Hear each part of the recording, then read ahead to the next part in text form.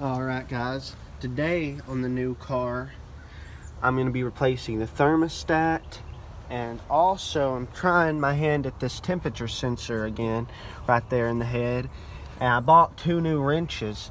I got a 21 and a 20 because so far everything else on this car has been in millimeters, but I think this this sensor is 13 sixteenths and after I got the new head I realized that after it turns a little bit in the 21 and the 20 will not go in it. So I'm gonna be getting a 13 16ths and taking that off. Here's the new uh, let me actually get it out of this package. Here's the new um, let's see if I can get it to focus Here's the new temperature sensor. As you can see, these you most of the time have to special order from the dealership because it's a one prong instead of having two prongs on the side. Because all it does is this sensor literally only projects temperature to the gauge. So it has nothing to do with the PCM or anything else. It's just this to the gauge and that's all it does. I can almost guarantee you that that thermostat was shut or stuck shut. Literally nothing drips out of this radiator hose here, which whenever the thermostat opens, this radiator hose fills up and it um, sends coolant back through the radiator. So not a drop came out that thermostat. I'll probably have to get it off off camera. Look at that old thing. I got it out. I had to use a pair of pliers to grab onto the top there. It was pretty stuck in. But alright, time to put the new one in. Alright, I'm in it now with the freshly replaced thermostat. And this is a week later. Last week, everything seemed to be doing okay. But since the AC doesn't work, I can't manually turn on the fans using the AC. So I was waiting for a cool day to test it out to make sure that it's not overheating on its own. So, let's see.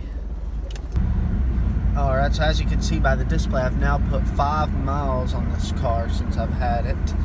Not very many, but it is a work in progress. So let's see how it does. Alright, real quickly, watch that temperature gauge. Watch, you accelerate, you know, it's going up, then you put on the brakes, watch it. Look, look at that. Something's definitely up with that gauge. PCM temperature's doing fine. PCM's just at 152, but then that one, definitely something up with it. Alright, I just parked it. PCM temperature steadied at about 219, 220. But I have a little coolant leak. Look at that. I didn't notice that before, but I guess also the thermostat wasn't opening. So and it didn't have much coolant in it before but. Alright as you can see I just took off the headlight assembly. Got it right here. It was pretty bent. Let's see. See that over there compared to this side?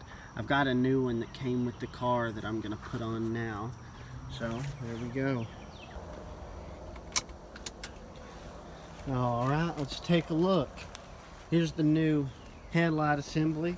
Everyone works, which honestly I had to replace three of them with the old light bulbs from the old um, assembly there.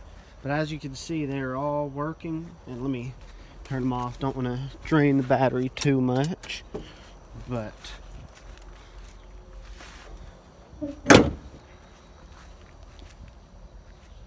looky there.